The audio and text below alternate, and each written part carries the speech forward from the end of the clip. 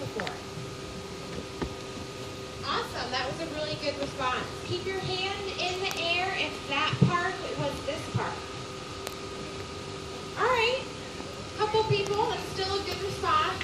I want to thank you guys for visiting and supporting your Florida State Parks, whether it's by visiting and supporting our beautiful Florida State Park or one of the other 174 beautiful Florida State parks, trails, and preserves that we have to offer for your enjoyment and your outdoor recreation. How many of you are not from Florida? All right, well, thank you guys for visiting our beautiful state. Our park's a mile and a quarter in length. If you walk it one or two times, you're walking one, two plus, give or take miles in some cases.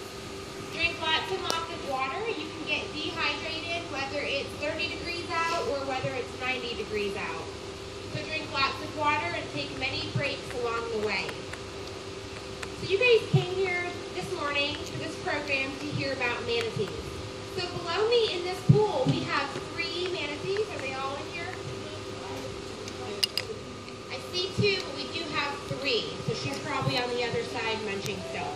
So these manatees are resident manatees, which means these girls live here year-round, and they will live with us um, for the remainder of their lives. How many of you have visited during the summer? All right, so you guys probably saw them in the other spring on the other side of the park. November through March in Florida is winter manatee season. It's manatee season because it's when our air temperatures start getting below 70 and pretty much, with the exception of a few days, staying there. In the summer, of Mexico waters are in the high 80s and 90s sometimes.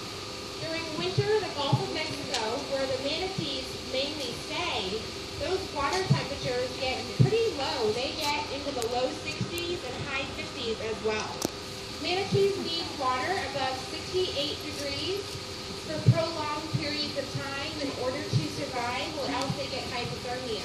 Spring water is 72 degrees year-round. So in November, we bring our manatees to this side of the park. They have this pool, and don't let it discourage you. They do not only have this pool from November through March. Underneath the boardwalk, right across from me, is a little channel that goes underwater out into two more paddocked, fenced-in areas in the spring. So they actually have a lot more space out there as well. They just choose to be in here right now because we're feeding. So our girls are secured on this side of the park. Why do we do that? We do that because we open up our gates and we allow the wild manatees to have access to our warm spring, that 72 degree spring water from November through March. They come in in the evenings when the air temperatures get into the 40s and 50s. They stay throughout the night in that nice warm water.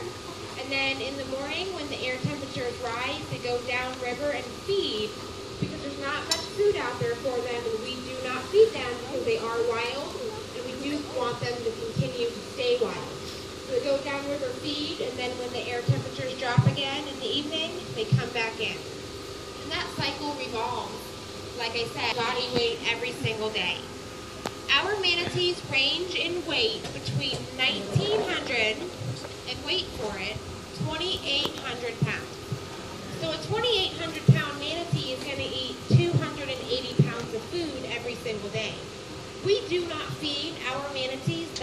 Much food. First and foremost, they're a little fluffy. An average wild manatee weighs 1,000, 1,200, 1,500 pounds.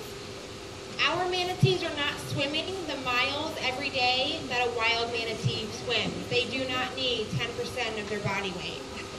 They get, between the three girls, about 300 pounds of food a day. They get romaine lettuce or cabbage, and they also get a coastal hay as well.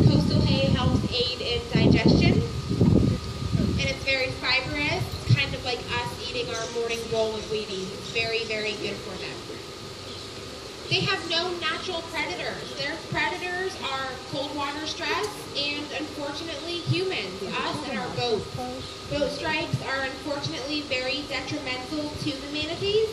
You can see our girls um, have full boat strike injuries. See her now, but she does have some old peeled propeller marks from a previous injury um, years ago when she was wild. Anyone know what their closest living relative is? An elephant, exactly. So I have a really bad comparison because not everyone has seen an elephant.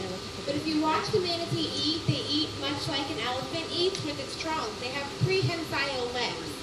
They roll those lips out, grab their lettuce, and roll it back in with their lips. Also, on their flippers, they have toenails, just like an elephant does on their feet. Some volunteers that are going to feed the manatees. I'll hang around, answer any questions one-on-one that you guys may have. Feel free to take as many pictures as you would like of the manatees. Your next program will be a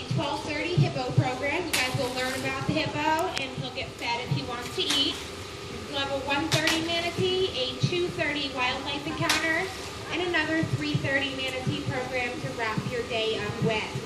Last boat leaves at 330. They, that's they move. On behalf of the entire state of Florida, the-